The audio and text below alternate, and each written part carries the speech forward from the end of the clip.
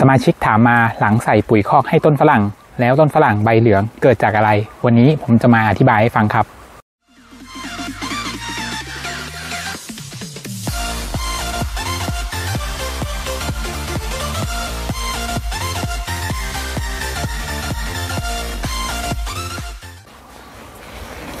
สวัสดีครับ วันนี้เรากลับมาพบกับรายการเกษตรรุ่งเรืองโดยเองเพื่อความยั่งยืนนะครับวันนี้เองผมจะมาแชร์ประสบการณ์นะครับ เกี่ยวกับการปลูกฝรั่งนะครับของสมาชิกท่านหนึ่งที่ส่งปัญหามาให้ผมได้ดูนะครับ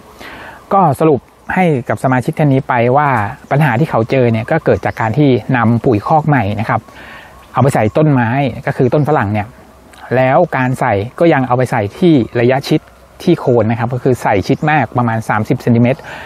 จากโคนนะครับ ก็เลยทำให้ ต้นฝรั่งที่ปลูกไปประมาณ3เดือนเนี่ยซึ่งมันเป็นต้นเล็ก ได้รับความเข้มข้นจากปุ๋ยที่ใส่ลงไปนะครับ ถ้าทำให้มันเกิดอาการใบเหลืองขึ้นมานะครับ แล้วก็ทำให้มีใบบางส่วนนะครับ เริ่มร่วงหล่นลงไป ก็ดูเหมือนฝรั่งเนี่ยมันอาการใกล้ตายโคม่านะครับคราวนี้เรามาคุยถึงเรื่องสาเหตุที่มันทำให้ฝรั่งเกิดสาเหตุแบบนี้นะครับ แล้วการป้องกันแก้ไขที่จะไม่ทำให้มันเกิดแบบนี้จะทำยังไงบ้างนะครับ ต้องบอกว่า ปุ๋ยมูลสัตว์นะครับ ยิ่งถ้าเป็นปุ๋ยที่เรียกว่าขี้ไก่นะครับ โดยขี้ไก่เนี่ยมันจะแบ่งขี้ไก่ออกเป็น 2 ประเภทก็คือขี้ไก่แกบนะครับกับขี้ไก่ล้วน ซึ่งขี้ไก่แกบเนี่ยส่วนใหญ่จะมาจากฟาร์มที่ผลิตไก่เพื่อส่งเข้าโรงเชือดที่เขาไปแปรรูปเป็นเนื้อสัตว์นะครับ ส่วนขี้ไก่ล้วนนะครับจะมาจาก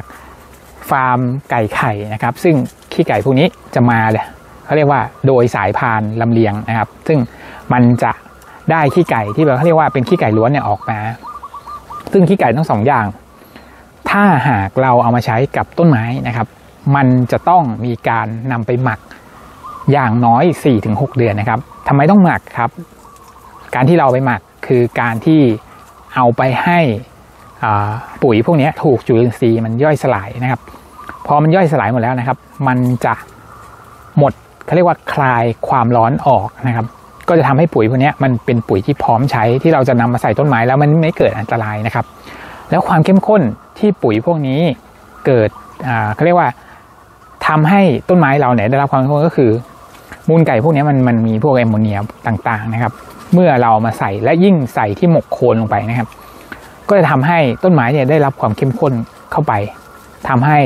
ได้รับผลกระทบก็คือใบเหลืองและร่วงหล่น บางท่านอาจเอาไปใส่ต้นที่มันมีขนาดใหญ่ ต้องบอกว่าพอต้นขนาดใหญ่ครับ มันก็มีบริเวณในการแผ่ราก หรือมีภูมิต้านทานที่มากขึ้น และมีความต้องการ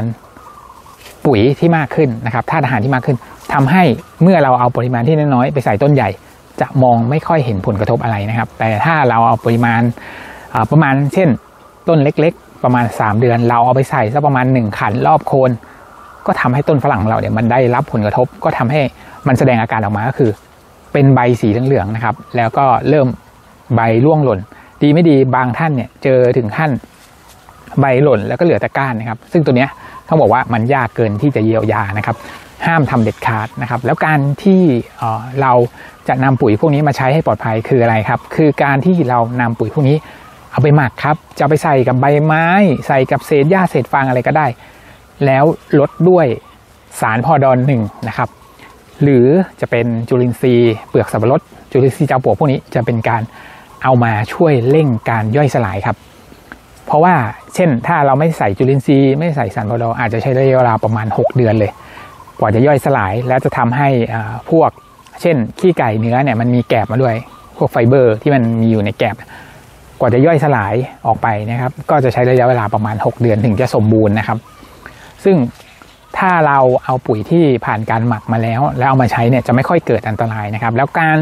ใส่ปุ๋ยนะครับก็คือห้ามเอาไปใส่ที่บริเวณโคนก็คือห้ามเอาไปหมกบริเวณโคน จะห่าง 30เซน40เซนอะไรก็ตามนะครับ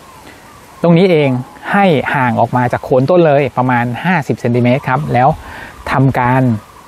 เออเขาเรียกว่า โกยดินหรือพรวนดินเล็กน้อยนะครับ ในกรณีที่ว่าเป็นต้นฝรั่งไซส์เล็กๆเนี่ยก็พรวนดินเล็กน้อย เพื่อให้ปุ๋ยเนี่ยมันไปอยู่ใต้ดิน แล้วมันค่อยๆซึมไปหาต้นไม้ของเราจากการที่เราลดน้ำเนี่ยมันจะค่อย ๆ เจือจางเข้าไปเรื่อยๆต้นไม้ก็จะได้ ปุ๋ยที่เราใส่ลงไป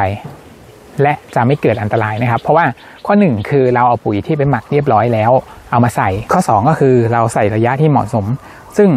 ระยะที่เหมาะสมที่ผมบอกไปก็คือห่างจากโคนนะครับประมาณ 50ซนติเมตรรอบโคนต้นเนี่ยเวลาเราใส่ไปแล้วเนี่ยระบบรากจะออกมาดึงหาอาหาร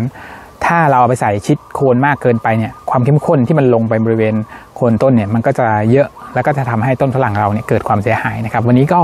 เอาประเด็นมาแชร์มาบอกกันนะครับสำหรับสมาชิกที่เป็นมือใหม่แล้วกำลังจะหาปุ๋ยมาใส่ต้นฝรั่งของเรานะครับ ซึ่งการที่ผมอธิบายเนี่ยอยากให้ทุกท่านได้